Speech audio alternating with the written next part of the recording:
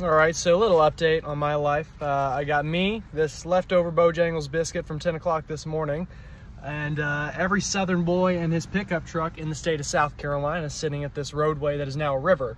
Uh, unfortunately, though, they can't really get it through the brain that they can't really go on the road because it's a river. Um, so that's a little unfortunate. I'll probably be here uh, until I die, honestly, is I think the most realistic scenario. So, yeah.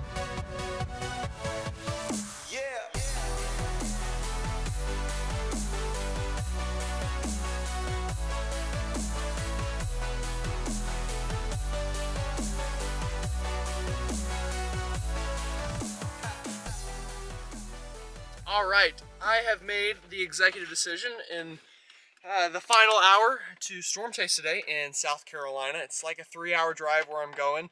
Uh, and it is freezing cold outside in Charlotte because this is a giant nor'easter and these are kind of like my least favorite thing to storm chase because the entire drive there is cold and wet and gross. And then you've got like a 10 mile corridor of actual exciting weather. But I don't know, something told me to go for it. Still haven't seen a tornado this year and it's like December 17th. So this is basically the last shot I've got. So might as well go for it. Um, yeah, so I gotta go get gas and probably food because I haven't eaten yet. And then I'm going to hightail it down I-77 and uh, see what we see. So yeah, here we go. All right, made a pit stop in Columbia to get some gas really quickly uh, and also to get some food. Got my Bojangles down there that I am very soon going to start eating, which will be fun. Uh, one of my favorite things about chasing in South Carolina, well, first of all, it's easily my favorite state to chase in. A couple reasons. One, gas here is like 50 cents cheaper than it is in Charlotte. That's awesome. Two, uh, it's just like South Carolina is a perfect size state that if you chase in one side and you have to get back to the other in a reasonable amount of time, it's not that difficult. Uh, it's just really nice and also pretty great chasing terrain down in the low country. So great place to chase and we should get to our target area within about an hour and a half or two. So we're getting close and uh, I'm going to keep on driving. All right, we've got our first tornado warning of the day. I'm still like two hours away from where I need to be, but there is a sign that it is tornadoing, probably. So we'll see how that goes. All right, we're about to drive into this thing and things are gonna go downhill really quickly. I'm the blue dot and that is a whole lot of everything. And you can also tell in front of me the skies are very gray and um, yeah, to get serious pretty quickly. We're also running into a bit of lightning, uh, which it's kind of crazy because the temperature is only 58 degrees, but uh, these storms are very convective, just meaning there's a lot of lightning with them. There's a lot of uh, lift in the atmosphere here, and they are sure producing a lot of rain and even some embedded areas of rotation. Uh, so I'm heading down towards the coast here, and we're getting really close to this wall of craziness.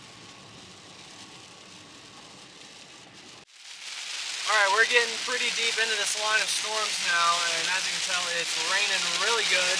Uh, winds are picking up. This area is under a flash flood emergency uh, for pretty obvious reasons, I think. This, this line of storms has been trailing over the same area uh, for a couple hours now and continues to dump very heavy rainfall from McClellanville all the way up towards Georgetown. Uh, also coming out of uh, McClellanville off of the coast a little bit, we do have some rotation there uh, right over McClellanville itself, moving kind of north towards where I'm at. I'm trying to get down there to get a little bit closer to it and see if we can't, um, you know, get some footage of it. So uh, definitely hoping for the best here. Just kind of got to stay on the road for now, though, and not get washed away by all the rain and wind.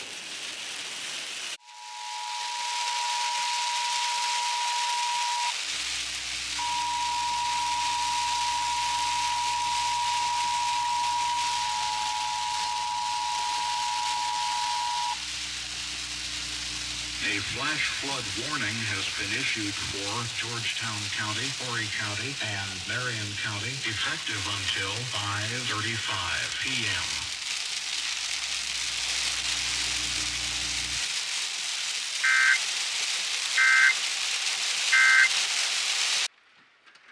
Flooding's starting to get pretty bad out here. Again, I'm kind of between Georgetown and McClellanville, South Carolina. You'll notice, I'll do the honors of rolling the window down even.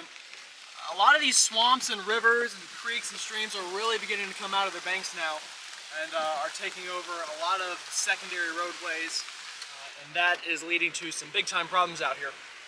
I'm going to continue heading down uh, closer towards the coast uh, and uh, we'll see what happens. But this line of storms is just sitting over the exact same area. Uh, this is what we call training in the world of meteorology. where it's just the storms are going over the exact same areas, dumping tons of rain. And because of that, we have multiple flash flood emergencies already issued for this area, and uh, you can see why. All right, just outside of McClellanville on US Highway 17 here, you can see the kind of median between the road is just turning into swamp, uh, and we're having a lot of water now overrunning the highway here. Um, and it's really not what you want to see. And uh, definitely one of those situations that things can go downhill very quickly, especially if you're in a lighter vehicle. Uh, luckily, I know the water is still very slim here, not too deep. I can still see the white on the roads, and I'm in a pretty high vehicle, so it's okay to kind of go through this right now. But uh, a lot of people, this is whenever they mess up. They go through something like this, they think it's not that bad, they go flying through it, and next thing you know, your water is in uh, a big old pile of water down there. So again, it's been raining here for hours now. Likely, I haven't checked the totals, but I would imagine we're past half a foot of rainfall uh, since this event started here around McClellanville. And uh, will only continue to rain as the slow pressure is just kind of meandering a little bit near Savannah and just pushing all this water northward uh, up through the Gulf Stream and into the coast of South Carolina and North Carolina.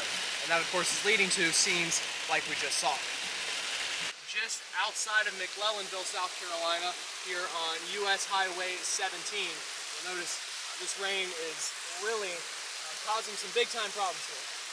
So I'm going to try to stop at a gas station up here. Hopefully they're still above water because uh, we're kind of running out of highway here that isn't flooded. Um, so getting a little sketchy out here, but should be okay. So the bridge here in Georgetown, maybe South Carolina. I probably should know where I'm at. I think it's Georgetown. Let me see if any signs. I don't know. There's a food lion here. Anyway, whatever big bridge goes through this town is out. So I'm having to turn around now and try to find a different crossing from this river. And unfortunately, that's going to set me back like 20 minutes um, from continuing up this highway. Uh, and also, unfortunately, there's some pretty wrong, uh, or excuse me, pretty strong rotation beginning to kind of move ashore, and taking that road would have been a great way to get to it. So I'm not entirely sure if I'm going to be able to catch it. Again, going to have to just kind of take the long way here, uh, but we'll see what happens.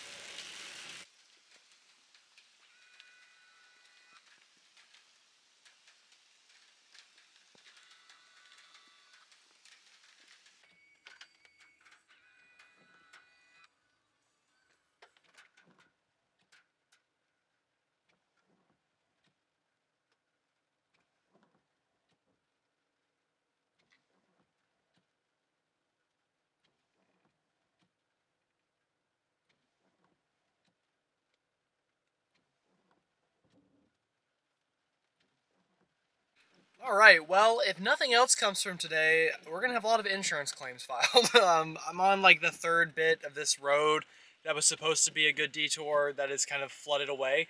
And it looks like I've got the first person of the day officially stuck. They're really kind of stuck up there. Um, so I don't really have a way to video them because there's like five cars in front of me. Uh, but I'm kind of entering a bit of stranded territory. and the sun sets in like 30 minutes, so... Uh, I'm not really sure what the move here is, but what I do know is uh, this is the end of the chase. um, but I'll probably go ahead and grab video of a couple more things because I turn my hazards off. Everyone kind of knows that there's a river in the road ahead.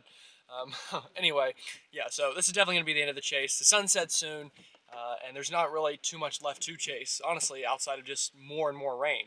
Uh, now, we are going to enter a bit of a lull in this part of the area for a while. That's good. Um, the not so good news is um, that the winds are going to pick up again later tonight. So anyway, uh, thanks for watching. I appreciate you tagging along with me, and I'll see you all next time.